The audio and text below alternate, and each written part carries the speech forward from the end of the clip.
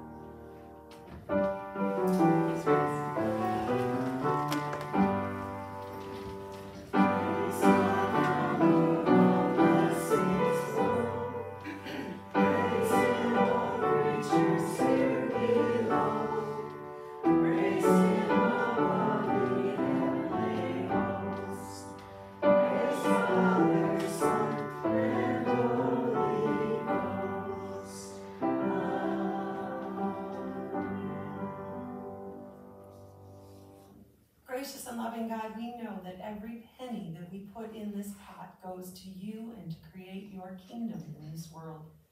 Lord, you give us these gifts so that we can straighten out the warped places in our lives. So add your blessing to them, Lord, and show us where we can use them to glorify you, to straighten out your world, and to bring hope back into a hopeless world. We give you praise and thanks this day. Amen.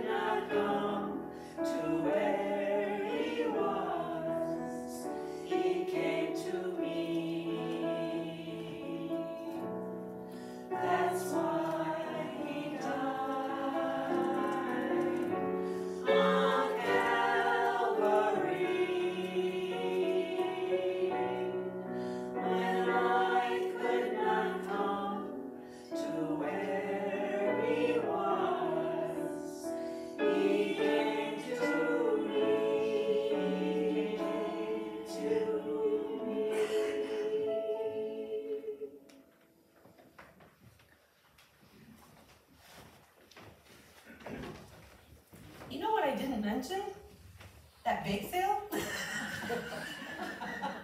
You probably knew about it, huh? We don't want any of that stuff left here when we're done, so when you're done here, um, some things are marked, some things are not, you're generous, we trust you. There's a basket out there, all proceeds are going to the Mission School of Hope and to help Pastor Charles's mission out there. So please make sure you get a lot of unhealthy stuff and take it home with you.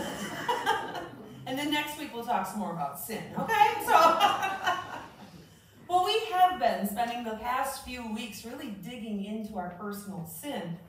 Because in order to realize the full power of the resurrection, of what God did for us, we have to deal with who we've become this sinful person.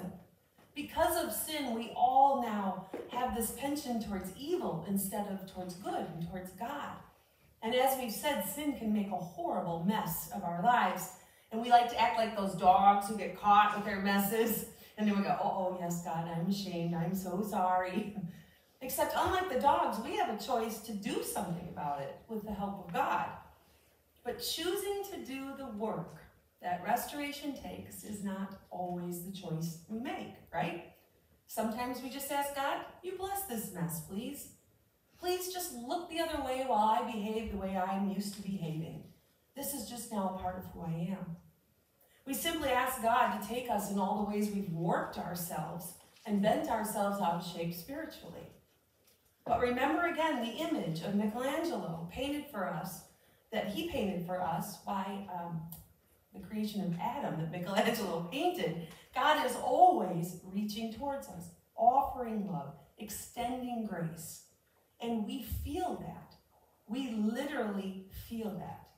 We feel a pull or a stir in our heart to respond to God. That unexplainable knowledge that there is a higher power in the world. That's prevenient grace. Before we even know we need God, He's putting that out there for us to know that He is there. And once we know that He is there and we acknowledge that, we become aware then of our sin. We talked about this last week that it's justifying grace from God that helps us to see where we are warped, where we are broken, where we want to do better, where we want to live better and love better. Paul says that we find peace with God that we do not have without him once we are justified. Therefore, having been justified by faith, we have peace with God through Jesus. It isn't peace what we all want. We don't want to feel guilt. We don't want to feel bad. We don't want to feel all of these things that hang on. We want to feel the urge to repentance and a desire to change. But change is not easy, is it? And we don't usually run right out and be say, I'll be the first one to do it. I'll be the first one to change everything. Won't that be fun? No. We act more like Adam when asked to change. We lean back. I don't know. I don't know what this means for my life if I change, if I give up my sin. I don't know what it's really going to cost me. But we have to stop fooling ourselves into thinking that we can do anything about our sin all by ourselves. Because we are not going to become the person God wants us to be by just working harder at it. I guarantee you that. To truly change, we have to realize that the board that God had created is warped now. I have distorted it. And we need to turn to God as the only source of power that can straighten up what we have warped. Now, last week we briefly talked about our need to go before God in confession. And although this is not a large part of our Protestant church faith, it really should have a larger role than we give it. Because part of our healing process is going before God and specifically naming our sins, declaring where we fall short. So we're going to do that right now. Isn't that exciting? Yay. Yeah! I want you to think about, you don't have to out loud, think about one sin that you wish God would just remove from your life. What would you have him take if you could have one freebie? It could be something you regret, a habit you just can't shake, a personality flaw, character defect. But think of this thing that is warping you in your life and you don't want it anymore. Now, imagine that it's gone. That Jesus has taken that sin from you. How would you feel? Would you feel like a weight has been lifted from your shoulders?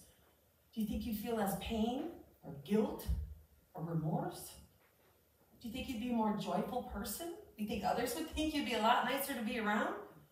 Sounds great, doesn't it? It would truly be a gift if God would just take that sin out of my life. But see, that's the problem. That's all we do is we wonder. We wonder what it would be like to not have these sins in our lives. Even when we think about just one sin, the impact can be significant. And I can give you an example. How many of you have ever gotten lost on Facebook? I'm just going to go check something. And how long have you been there? An hour, right? you know what happens. We start scrolling. We see everyone's posts, everyone's photos. And we do that, we see them at their best. Everyone living their best lives ever. Nobody posts their tragedies. they post the best. Oh, you see a church friend is doing mission work in Haiti and they feel so blessed. Well, that's good for them, right? But you see that your cousin has bought a new house and it's five times bigger than your house. Well, she must be doing all right. Good for her. you see that your high school friend got a really great job and gets tickets to all these really great events anytime they want. Well, that's cool. Then you see that your ex has a new girlfriend and they went to a concert and they got to meet the band. Well, that's great. And see what happens picture after picture, post after post? We're not happy. We're envious. We're jealous. We're not happy for these people. We are annoyed and irritated by their joy, right? Happens is we carry that emotional and mental state with us into our day. And it affects the way we talk to other people and other strangers, our kids. It affects the way we drive in traffic. It affects the way we interact in work and with others. But imagine instead if scrolling through Facebook, you scrolled through some scripture, spent some time with God. What then would happen to your day? It could change an entire relationship. It could change a family. It could change a work environment. Imagine now if we applied this type of thinking to all of the little insignificant sins in our lives. But this is not how we think about sin. If any of you struggle with the sin of envy, you know what I was just talking about. If you don't, you don't. But we have all grown so used to our sin and its presence that we don't give it much thought. We do not consider how the sin of impatience or coveting or addiction affects our lives and the lives of others. And so what we do instead is we just view sin as an inevitable part of who we are. It's just who I am, warped and all. And that's who I will be for the rest of my life. And we begin to believe that this is it, that this is just the way it's going to be. But we know something because of God and His grace. We know deep down inside of us, in that place that God speaks to us, that this is not okay. Justifying grace is the force that brings this realization to the surface. This feeling that sin is winning in my life and I don't like it. And sin has consequences that have to be dealt with. If we steal a car, we can't simply bring it back and say, sorry, my bad. If we gossip about somebody and spread something that isn't true, we can't just take it back undo it. If we fracture a relationship because of our stubbornness or our pigheadedness, we can't make that right. The things we do affect other people in small and large ways, and ways that we may not even be aware that we're doing. And this is where God does for us what we cannot do for ourselves. God makes it right. And he does that through atonement. Atonement's a fancy word for God making things right for us. God makes the required offering for sin on our behalf once and for all so that we can have that peace that Paul talked about. How much must God love us to do this? To send his one and only son to die a painful death. Now you know how much you love your kids. How much so must God love his, that he gave his for us? And that shows how much he loves us as well. Because God does for us what, what we cannot do for ourselves, and that's atonement, making it right. Jesus did that on the cross. Now, the cross could be for us a symbol of pain and death in this world, but it's not. True Christians know that this is a symbol of grace and love. And if you believe that Jesus Christ died for your sin, God says, Come along with me, follow in my way. Like children who trust their parents, you should feel safe to take that invitation. And the resurrection of Jesus on the cross should stir in us this feeling that we want to offer our lives to Him completely. And when you look at the cross, it should remind you that on your own, you're powerless. You cannot achieve to be a sinless life. You cannot achieve forgiveness, humility without the cross. Only God can take pride out of our hearts. Only Christ can turn envy into admiration, and only the Holy Spirit can take the racism in our heart and turn it to love. We can't do that on our own. How many of you remember a man named Nicodemus from the Bible? I love his name. And if it would have been acceptable and I had a boy, that's what I would have called Nicodemus. Nicodemus was a Pharisee and a very respected leader in the temple at Jerusalem. He was pretty high up. People thought very well of him. He knew the law well. He knew how to enforce it well. So when people had questions, because he was a nice guy too, a lot of folks went to him when they wanted answers. Well, today in our reading, we find that the man with all the answers has some questions of his own. He has heard what Jesus has been saying, and he has some questions that he wants answered for a change. So we're going to read from this exchange in John 3 1 through 8. Now there was a Pharisee, a man named Nicodemus, who was a member of the Jewish ruling council. He came to Jesus at night and said, Rabbi, we know that you are a teacher who has come from God, for no one could perform the signs you are doing if God were not with him. Jesus replied, Very truly I tell you, no one can see the kingdom of God unless they are born again. How can someone be born again when they are old? Nicodemus asked. Surely they cannot enter a second time into their mother's womb to be born. Jesus answered, Very truly, I tell you, no one can enter the kingdom of God unless they are born of water and the Spirit.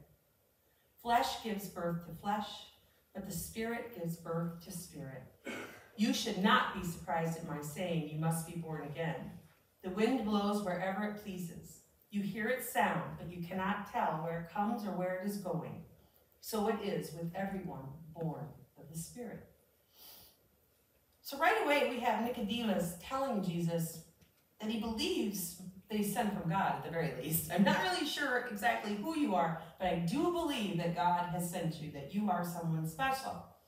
But he's still unsure, he's still uneasy, so he goes at night so nobody else will see somebody who's confident, someone who's knowledgeable, having questions, being concerned. And Jesus offers this statement to Nicodemus in verse 3 that you need to be born again. And it doesn't make any sense to Nicodemus. He says it's impossible to be physically born again. And women, can I say thank you? Once is enough, right?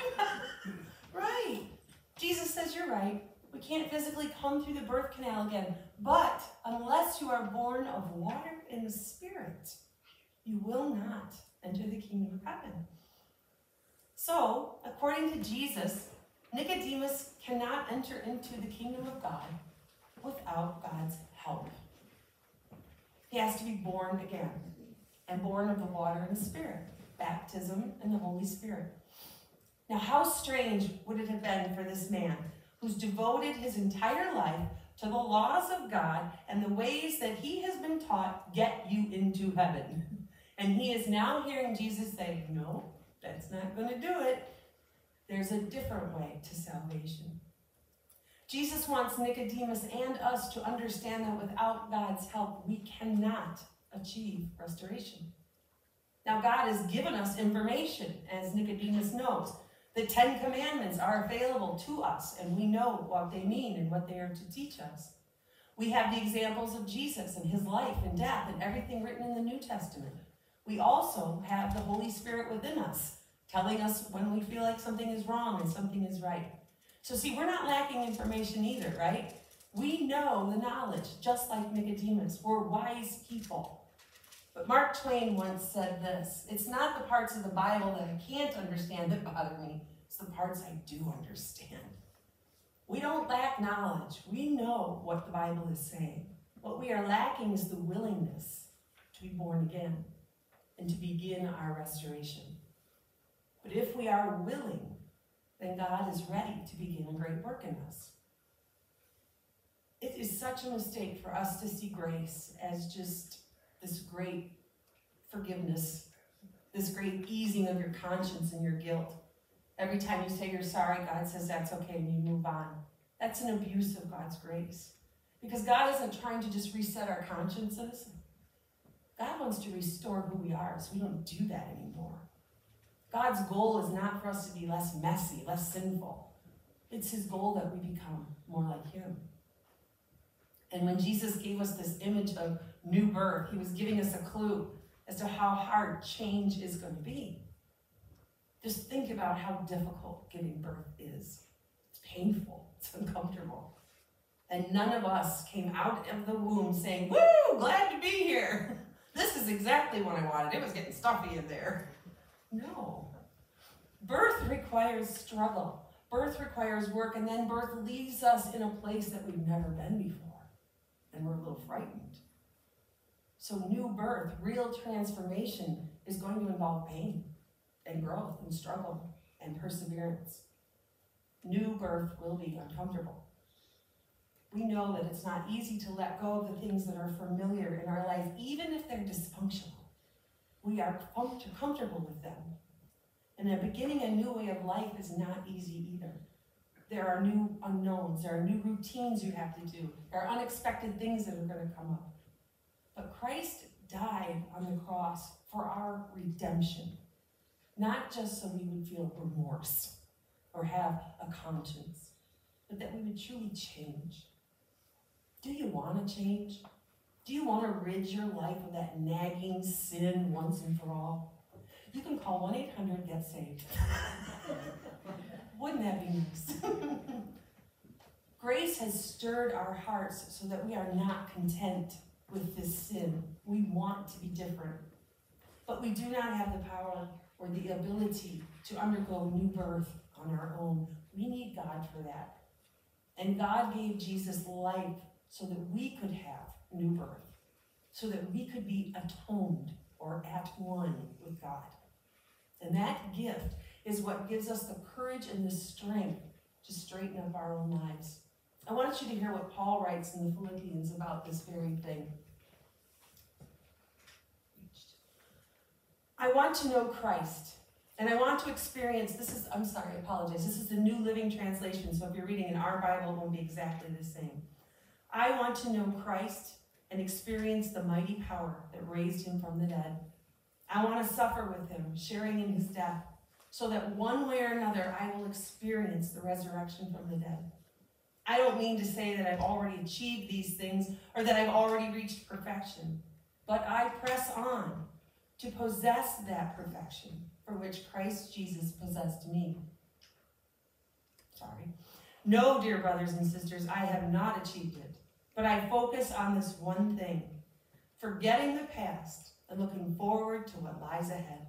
I press on to reach the end of the race and receive the heavenly prize for which God, through Christ Jesus, is calling us. If only we could know the power of the resurrection in our lives, what it could do for us. So let's be like Paul. Let's press on towards that perfection. Let's straighten up our messes. Let's care about our sin. We need to close that gap that exists between Adam and God and us and God. And next week, we're going to talk about exactly how we do that. How do we close that gap as we come to the end of this study? I hope that this has not been a downer for you, but hopefully it's setting you free to know that your sin is holding you down. It's sitting on you. Get rid of it. Get it off and let God straighten you out. Let's pray. Gracious and loving God, we do know that we are warped with sin. And Lord, we have become way too comfortable in our sin. So much so that we don't even really know how to name it anymore. It's just who we are. Lord, we ask that you would convict us Pour your grace upon us. Reveal to us where we are warped, where we are bent, where we are out of shape from who you created us to be. And then, Lord, give us the strength and the courage to want to close that gap, to want to change who we are, and to restore ourselves into the image of Christ. We thank you for a God that never, ever, ever gives up and always, always reaches out. May we take that example and respond in kind. We give you all grace, great praise and glory this day. Amen. We're going to close our worship service together by singing um, a hymn that the tune is familiar, but the words are different. So don't let that throw you a little bit. It's number 465, Baptized in Water, and it's to the tune of Morning Has Broken. So if you'll please stand if you are able, we'll sing our closing prayer.